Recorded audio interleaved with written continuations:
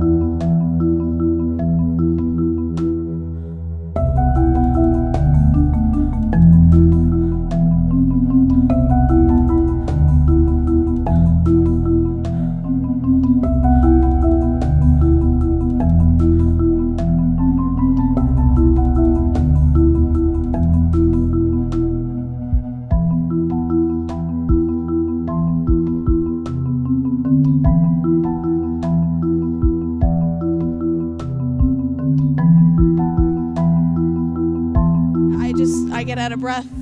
Even talking, having like a long conversation, it gets me a little winded. So it's it's weird for me because I never thought at 21 I'd have trouble breathing.